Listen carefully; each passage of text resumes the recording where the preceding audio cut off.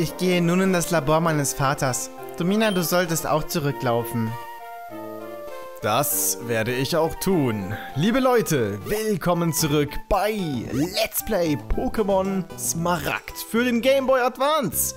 Was war das für eine schöne erste Folge. Aber wir sind gerade mal am Anfang unseres Retro-Abenteuers. Oh, hallo Domina. Ich habe gehört, du hast Brix besiegt. Super, das war dein erster Kampf gegen einen Trainer. Brix hilft mir schon sehr lange bei meinen Forschungen. Brix besitzt eine respektable Geschichte als Trainer. Hier, das hilft mir bei meinen Forschungen, aber ich denke, du kannst den Pokédex auch gebrauchen. Domina erhält den Pokédex! Der Pokédex ist ein hochentwickeltes technisches Gerät, das automatisch jedes Pokémon, das du siehst oder fängst, registriert. Brix geht nie ohne ihn aus dem Haus. Und ich gehe nicht ohne mein Smartphone aus dem Haus, irgendwie traurig. Immer wenn mein Kind ein seltenes Pokémon fängt, kommt es und zeigt mir den Eintrag im Pokédex, während ich draußen forsche. Ach, du hast auch einen Pokédex. Na dann, ich gebe dir dies.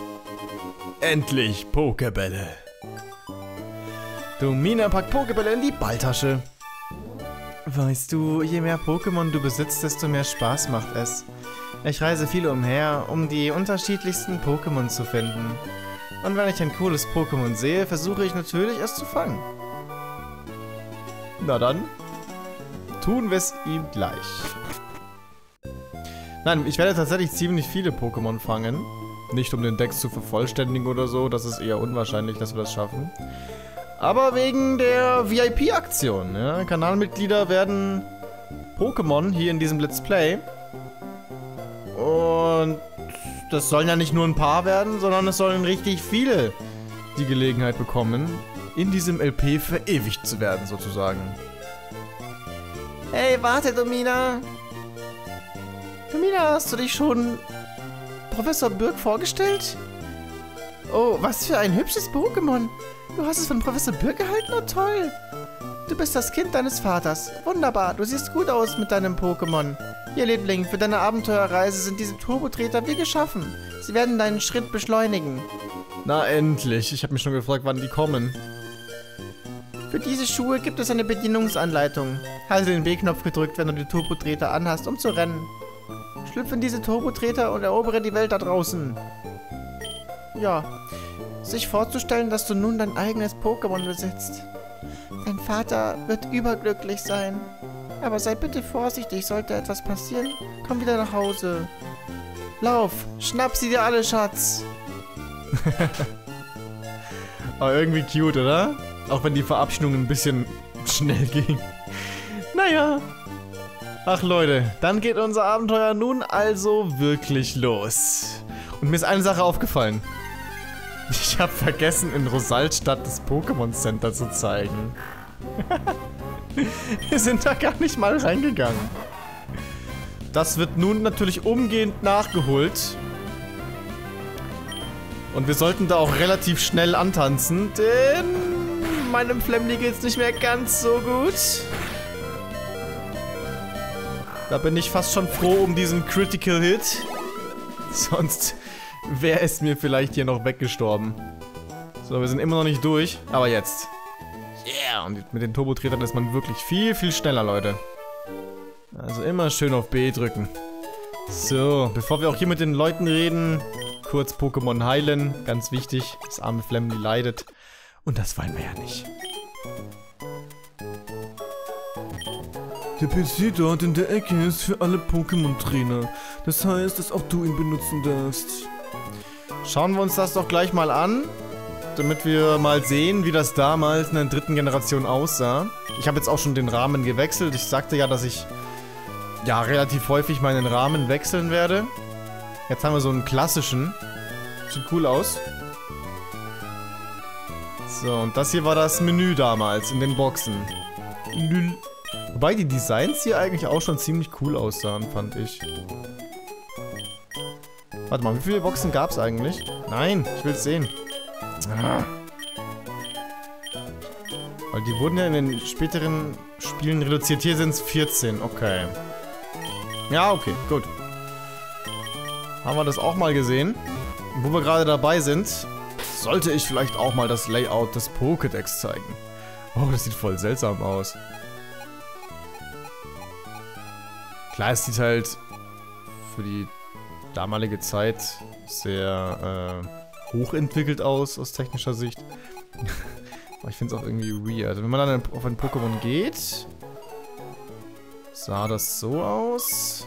Man kann gucken, wo man es fangen kann. Im Falle von Flammy natürlich nirgends. Das ist der Starter. Hier auch mal die Karte von Höhen. Und der Ruf. Größe im Vergleich zum Trainer. Ja, also alles ganz nett hier. Pokémon Center ist eine großartige Einrichtung. Du kannst ihren Service so oft du willst in Anspruch nehmen. Kostenlos. Daher kannst du unbeschwert umherreisen. Frag mich immer, wie sich das finanziert, aber okay. Der Pokémon Drahtlosen Club im zweiten Stock wurde erst kürzlich eröffnet. Ich habe schon Pokémon getauscht. Auch das ist fortan möglich. Wie wir wohl gerade erfahren werden. Hallo, ich bin Tiala. Dies scheint dein erstes Mal hier zu sein. Ich zeig dir, wie das drahtlose Kommunikationssystem funktioniert. Zunächst zeige ich dir dieses Stockwerk unseres Pokémon Centers. Hier entlang bitte. Im Obergeschoss gibt es zwei Clubs. Zum ersten den Club links, das ist der Connex Club. Hier kannst du Trainer treffen, die ebenfalls den Connex Club betreten haben. Du kannst mit ihnen sprechen, kämpfen und tauschen. Zum zweiten den Club rechts, das ist der Direkt Club. Hier kannst du mit Pokémon gegen Freunde kämpfen oder sie tauschen. Falls der drahtlose Game Boy Advance Adapter nicht eingesteckt ist, kannst du das GBA Game Link Kabel benutzen. In diesem Fall musst du den Direkt Club betreten. Viel Vergnügen mit dem drahtlosen Kommunikationssystem. Ja, ich äh, blende diese Retro-Sachen gleich mal ein. Einmal das Kabel und einmal der Drahtlos-Adapter. Der lag, glaube ich, sogar Pokémon Feuerrot und Blattgrün bei. Also zumindest in einem entsprechenden Bundle auf jeden Fall. Und dann kannst du damit schön chillig, ohne Kabel, der Wireless sozusagen, Pokémon tauschen. Ja, aus heutiger Sicht völlig selbstverständlich weil 3DS und Switch und ja, die äh, Konsolen haben das ja eingebaut. aber damals war das noch nicht so. Ich werde jede Menge Pokémon fangen. Wir auch. Und welche Pokémon man hier fangen kann, das blende ich euch jetzt ein. Und hier hätten wir auch schon unseren ersten Trainerkampf außerhalb äh, eines Rivalen-Battles. Weil das ist ja nochmal was ganz Besonderes. Dementsprechend spielt hier auch nochmal eine andere Musik. Und ich muss echt sagen, die Trainer oder generell die Musik in der Höhenregion ist auch saugeil. Es gibt sehr, sehr viele Tracks, die ich unglaublich feiere. Auch franchise-übergreifend. Also da macht Höhen echt einen guten Job. Ähm, und die Trainermucke gehört da tatsächlich auch dazu. Sehr, sehr geil. Ich versuche auch immer so ein bisschen auf die Musik einzugehen und euch zu sagen, welche ich besonders feiere und welche jetzt weniger. Die Wild Pokémon Battle Mucke ist eigentlich auch okay. Ja, doch, absolut. Und ich würde sagen, wir fangen dieses Lutursel jetzt einfach mal. Es wird zwar kein Teammitglied, aber ein VIP darf sich gleich freuen. Ich habe, wie ich bereits angekündigt habe, vor der Folge ein paar per Zufallsprinzip gezogen. Ich mache das deshalb mit mehreren, weil ich zum einen eben nicht weiß, wie viele Pokémon ich in einer Folge fange. Und ich brauche ja gleich einen Namen. Und zum anderen gucke ich auch immer so ein bisschen aufs Geschlecht. Also dieses Luturzel beispielsweise ist jetzt weiblich. Dann nehme ich doch mal die Lisa Joe. Lisa Joe wird dieses Loturzel. Klar, nicht bei jedem Abonnenten weiß man, ob es jetzt ein Junge oder ein Mädel ist. Aber, oh, Lina habe ich geschrieben, ich Idiot. Direkt die Abo raus. nee, ähm, wie gesagt, man weiß es natürlich nicht immer. Aber wenn es so eindeutig ist wie in diesem Fall, dann passt das. Warte, jetzt habe ich mich verguckt. Lisa Joe, genau, Joe. Leider bekommt man in dieser Edition keine EP für gefangene Pokémon. Das wurde erst in der fünften Gen eingeführt. Ist ein bisschen doof. Weil das hätten wir dann auch noch schön damit verbinden können. Aber hat nicht funktioniert. Gab's, gab's hier noch nicht. Auf die Idee sind sie damals noch nicht gekommen. Ja, die ersten Trainer sind natürlich die größten Luschen, ist klar. Vor allem so, so Kinder, die sich cool fühlen. aber eigentlich nichts drauf haben. So, und ich wäre super happy, wenn unser Oxy so schnell wie möglich eine Feuerattacke erlernen würde, denn damit könnten wir die Käfer-Pokémon easy aus dem Weg burnen. Oh, gutes Stichwort. Ich wollte ja noch über das Kampfsystem meckern.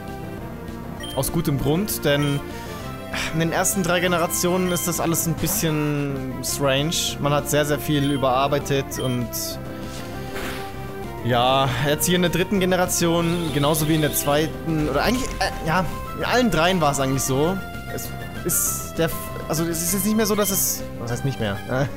ich rede mich um Kopf und Kragen. Ähm, die Attacken,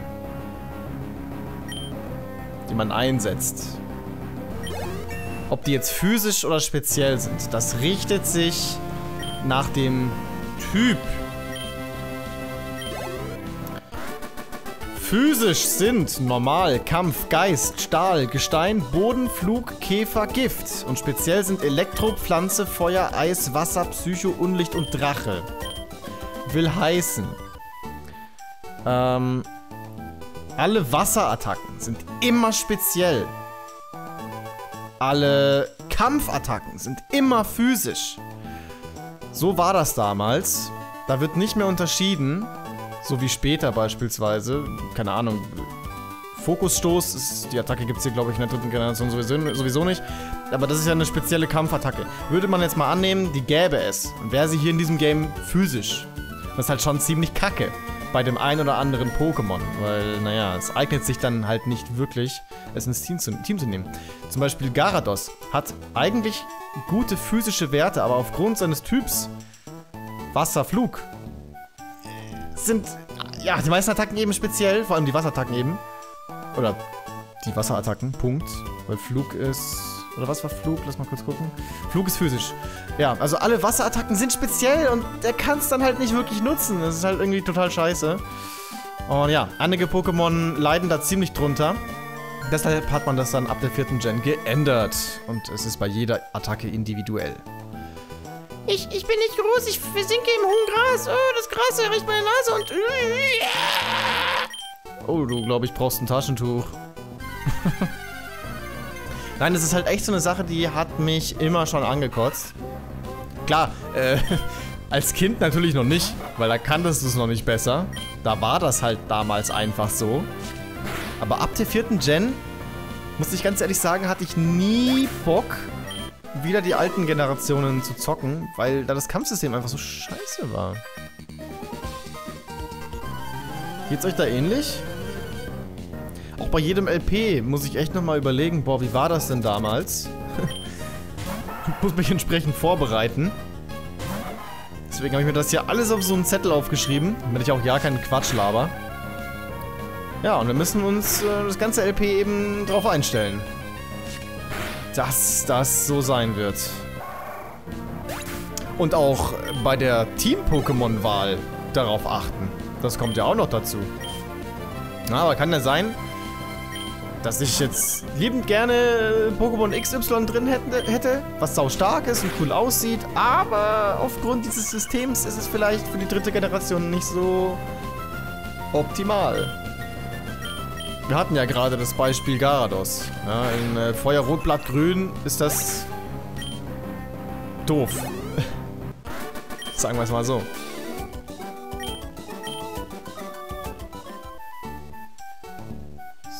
So, was finden wir denn hier? Leckere Beeren. Zwei Sinelbeeren. Oh ja, und so, so eine Sache hat mich auch immer geärgert. Wenn Buchstaben mal klein, mal groß waren. Wie hier beispielsweise bei Bären. Da ist das N ganz am Ende klein. Warum auch immer. Und beim Pokémon müsst ihr mal drauf achten. Da sind auch ein, zwei Buchstaben immer klein. Das ist voll nervig. das sind so kleine Dinge, über die regt man sich im Nachhinein auf. So, da, hier drüben ist Blütenburg City. Die Stadt, in dem unser Vater arbeitet. Als Arenaleiter, wie wir bereits erfahren haben. Ziemlich krasser Typ. Und ich habe da auch nochmal nachgeschlagen, weil ich mir in Folge 1 ja nicht ganz sicher war. Jetzt kann ich es allgemein sagen. Äh, Domina und ihre Mutter kommen aus der Höhen, äh, aus der Johto-Region und sind in die Höhenregion gezogen. Wegen Norman, dem Vater. Ah, also die kommen ursprünglich eben aus Johto und sind hierher gezogen. Damit das auch mal geklärt ist. Und kleiner Fun-Fact am Rande. Das ist das erste und einzige Mal bisher, dass der Vater des spielbaren Chars bekannt ist. In allen anderen Pokémon-Editionen kennt man ihn nicht. Oder Generationen. Nur in der dritten Gen weiß man, Norman ist der Papi. das ist auch so eine Sache, die habe ich mich tatsächlich auch als Kind immer gefragt, ja, weil die Mutter, die war immer da in Pokémon Blau, Gelb, Gold, Silber und so weiter und so fort. Aber der Vater, der war immer weg. Und da habe ich mich schon auch gefragt, hm, warum? Was, was ist da los? Und ich kann es mir auch bis heute nicht erklären, warum der einfach immer von der Bildfläche verschwunden ist. Echt super weird. Aber gut, damit haben wir Blütenburg City erreicht. Und hier spielt auch eine chillige Musik.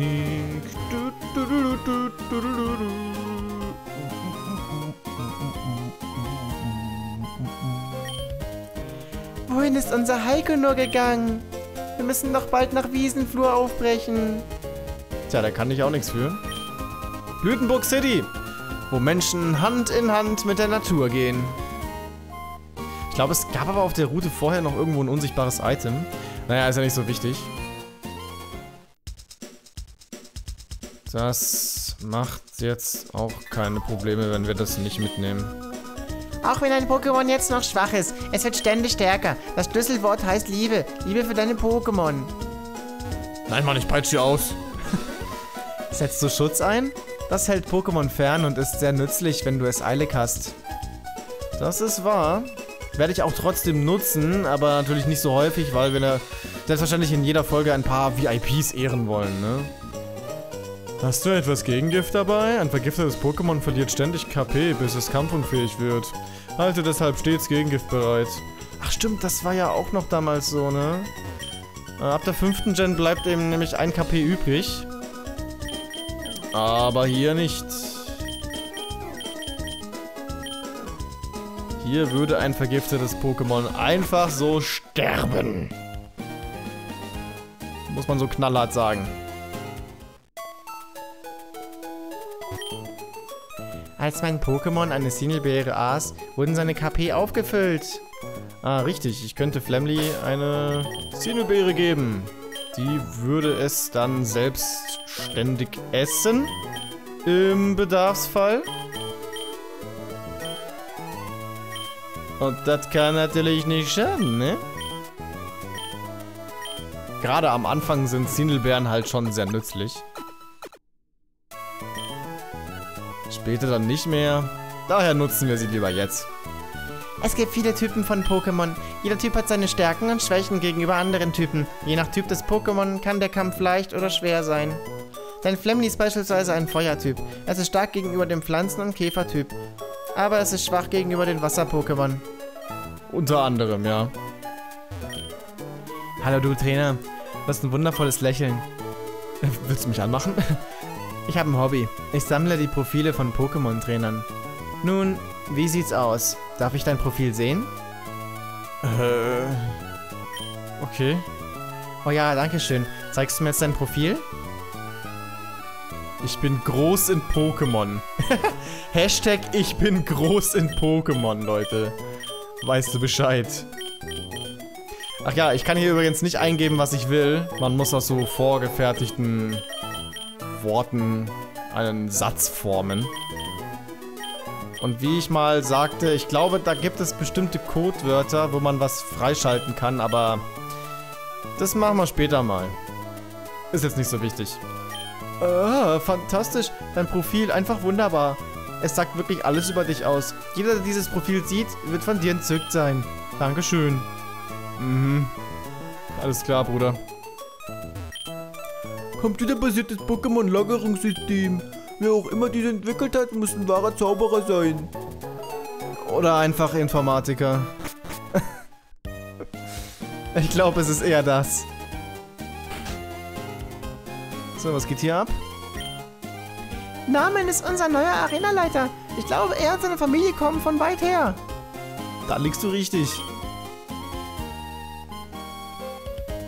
Also kommt Norman wohl doch auch aus der Johto-Region? Gut, das konnte ich jetzt nicht ermitteln, aber auf jeden Fall ist die Familie von Johto nach Höhen gezogen. Aber der Grund könnte halt sein, dass Norman eben hier den Arenaleiter-Job bekommen hat.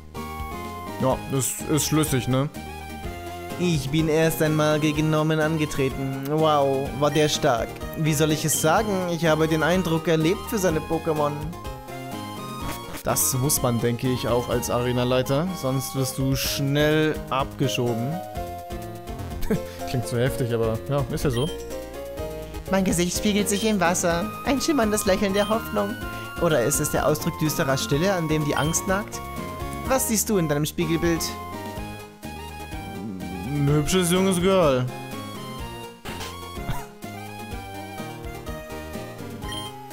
Reisen ist einfach wundervoll. Als ich noch jung war, waren die See und die Berge mein Zuhause.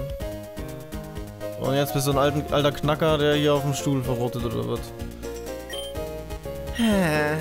Ich wünschte, ich könnte mit einigen Pokémon auf Abenteuerreise gehen. Sich durch hohes Gras schleichen, steile, zerklüftete Berge erklimmen, das tosende Meer überqueren, dunkle Höhlen erforschen und manchmal ein wenig Heimweh haben. Reise muss einfach toll sein. Ja, ich glaube, das ist auch so ein Aspekt, warum Pokémon so erfolgreich wurde. Man versetzt sich halt auch so ein bisschen in seinen Charakter hinein und in die Spielwelt und man stellt sich halt auch vor, boah, wie geil wäre das, wenn man die Welt bereisen könnte mit diesen Monstern und kämpfen und alles erkunden und wow, das ist halt schon nice, ne? Hey da, bist du vielleicht äh, ein Anfänger unter den Trainern? Weißt du, was Pokémon-Trainer machen, wenn sie in einen neuen Ort kommen? Sie sehen sich als erstes die Arena im Ort an. So. Schau, das ist die Arena von Blütenburg City. Das ist das Logo der Arena. Daran kannst du immer eine Arena erkennen. Ah ja. Na dann, sehen wir doch mal hinein. Schließlich ist unser Papi hier. Hm? Na, wenn das nicht Domina ist. Dann habt ihr also den Umzug beendet? Ich bin überrascht, dass du ganz alleine hierher gefunden hast. Oh, so ist das. Du bist in Pokémon-Begleitung. Ich glaube, du wirst einmal in meine Fußstapfen als Trainer treten, Domina. Das sind großartige Aussichten. Ich kann es kaum erwarten. Ich, ich, ich hätte so gerne ein, ein Pokémon, bitte. Äh, Wie? Du... Du bist Heiko, nicht wahr? Äh, Ich werde meine Verwandten im Wiesenflur besuchen. Und ich, ich, ich glaube, ich werde mich da doch ein bisschen einsam fühlen. Daher äh, würde ich gerne ein, ein Pokémon mitnehmen. Aber ich habe noch nie eins gefangen. Ich, ich weiß nicht, wie das geht. Oh, ich verstehe. Äh, Domina, hast du das gehört? Hilf doch bitte Heiko dabei, ein Pokémon zu fangen. Heiko, hier. Ich leihe dir mein Pokémon. Heiko hat ein Zickzacks erhalten. Wow, heftig. Krass! Ein Pokémon! Hm, Ja, ich gebe dir am besten auch den Pokéball. Leg mal los. Heiko erhält auch einen Pokéball. Danke dir! Tamina, kommst du wirklich mit mir mit? Mir bleibt ja keine Wahl. Oh Mann. Was ein Lelek. Domina, Pokémon verstecken sich im hohen Gras. Wie diesem hier, oder? Ja. Dann, dann bitte bleib hier und äh, schau, ob ich sie auch richtig fange. Oh! Äh, Bruder, bricht dir nichts, ne? Kleiner Fun Fact am Rande. Dieses Trassler ist auf Level 5. Dabei kann man auf dieser Route kein Level 5 Trassler finden, sondern maximal auf Level 4. Das heißt, Heiko ist ein Cheater! so, Heiko, jetzt musst du angreifen oder auch einen Ball werfen, aber ich sehe schon, du willst auf Nummer sicher gehen, okay. Ist auch gut so, denn momentan wird ja nur deine Angriffskraft gesenkt, das ist nicht so schlimm. Und du hast das gegnerische Pokémon auch schon mal ganz gut geschwächt.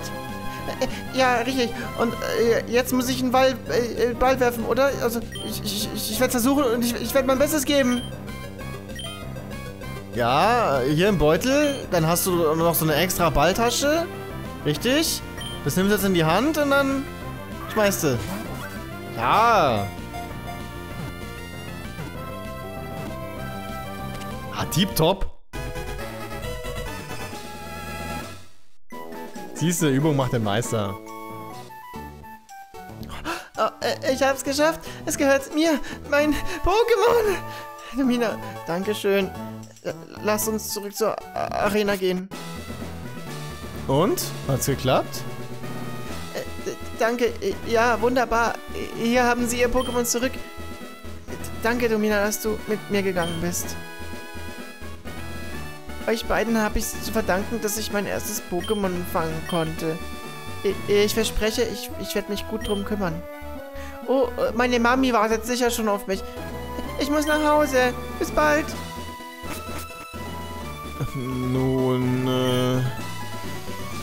Was ein Lauch.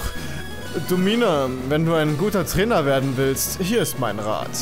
Geh nach Metaros City, gleich hinter diesem Ort. Dort solltest du die Arenaleiterin Felicia herausfordern. Suche danach die anderen Pokémon-Arenen auf und besiege die Leiter. Sammle die Orden der verschiedenen Arenen. Verstehst du? Nein, ich bin dumm wie Brot. Keine Ahnung, wovon du redest.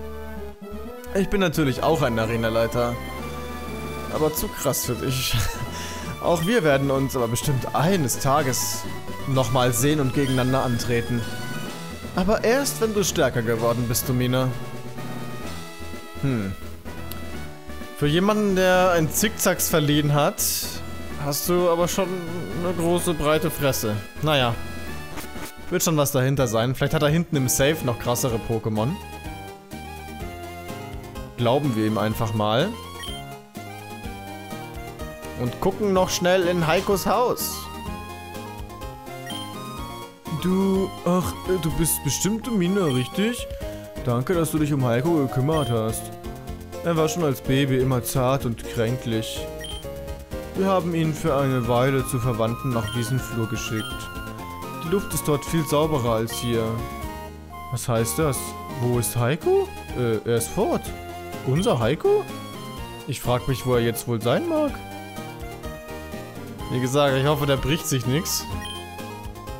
Heiko war richtig glücklich, als er uns erzählte, dass er einen Pokémon gefangen habe. Ich habe ihn schon seit Ewigkeiten nicht mehr so glücklich erlebt. Na, dann ist doch alles gut. Und weißt du was? Dieses Trassler hat mir echt gefallen. Wir schnappen uns auch eins. Und es wird ein Teammitglied sein. Allerdings, ich sehe schon, ich muss hier ein bisschen suchen, bis ein Trassler auftaucht. Daher werde ich cutten. Vorher gucke ich aber noch, ob ich das Wampel vielleicht gefangen kriege. Ja, sieht gut aus. Damit noch ein weiterer VIP hier verewigt wird. Und ich glaube, ich werde Pokebälle kaufen. Weil drei sind dann doch ein bisschen zu wenig. So, das hat schon mal geklappt. Auch dieses Wampel ist weiblich. Dann nehmen wir doch mal die Stefanie H.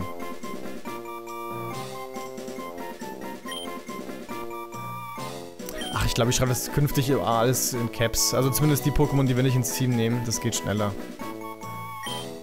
Sonst muss ich immer so hin und her. Stefanie.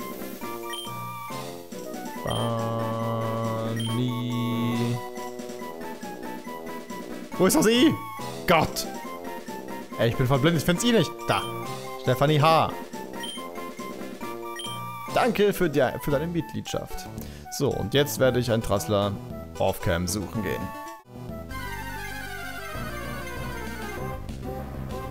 Da ist eins. Es ist weiblich. Okay, cool.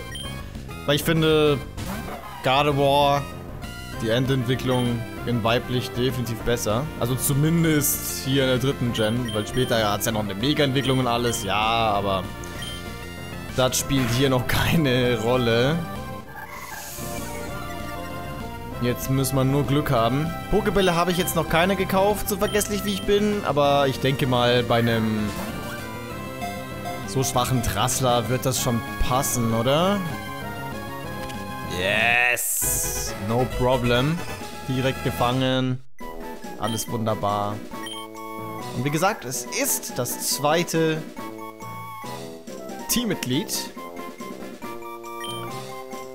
Und hierfür werde ich die Janika hernehmen.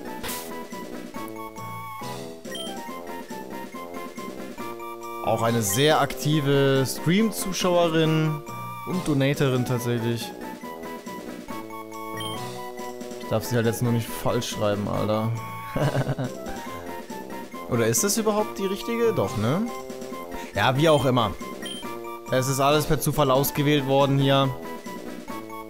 Es ist jetzt auf jeden Fall hier diese Janika. Das zweite Teammitglied. Ein Trassler. Wunderbar. Ach Leute, es macht Spaß. Es macht Spaß, Pokémon Smaragd ja, zu zocken. Noch viel mehr, als ich gedacht hätte. Und in der nächsten Folge werden wir uns zulabern lassen. Danach dann aber ziemlich viele Kämpfe bestreiten und nach Metaros City gehen. Also, wer mehr möchte, hinterlässt einen Daumen. Und ich sag ciao. Bis bald.